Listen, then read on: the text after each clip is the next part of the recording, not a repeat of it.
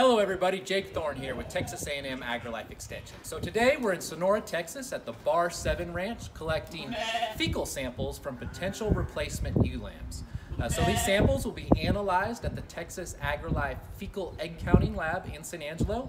And those results will provide some insight into the natural resistance ability of these ewe lambs to barber's pole worm or Haemonchus contortus, which is a significant issue to many Texas producers.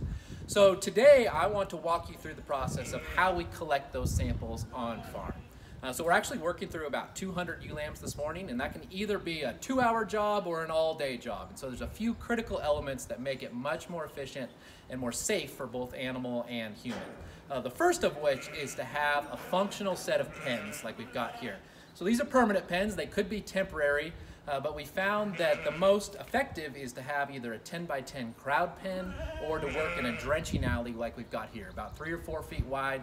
It just really reduces the amount of labor needed to catch, collect, and move from animal to animal. Now, if you've just got a few animals, uh, you can collect that sample directly from the sheep just with a gloved hand. Uh, but in larger contemporary groups like we've got today, we suggest acquiring a speculum, which can be purchased from many medical supply companies and just makes the job a lot easier. So how this works is we're actually going to have somebody catch the, the sheep here.